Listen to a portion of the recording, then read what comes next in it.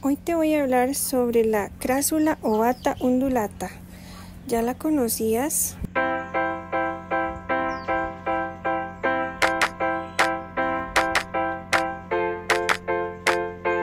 Esta curiosa planta aparece dando vueltas con hojas que recuerdan las láminas onduladas, como si de una lámina de gelatina a punto de calentarse se tratase. Sus hojas crecen de múltiples formas, llegando a la altura de un metro en macetas, casi como caricaturesco. Su forma se puede apreciar por su borde oscuro que da línea a cada hoja y dibuja la planta entera.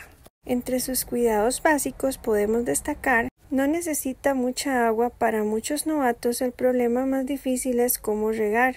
De hecho, no se recomienda regar a una hora fija, sino que hay que prestar más atención al estado de la planta suculenta y a las condiciones climáticas concretas. Por acá les muestro que lo que estoy haciendo es limpiándola de alguna maleza que le salió en estos días de invierno. Esta planta también es importante saber que se reproduce mediante esquejes. Por acá pueden ver algunos esquejes que le he sacado.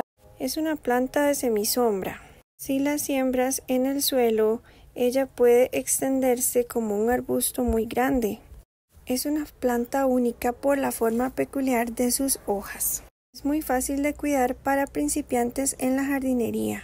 En cuanto a su reproducción, ya les indiqué que este, cortando esquejes puedes tener más eh, plantitas de esta misma.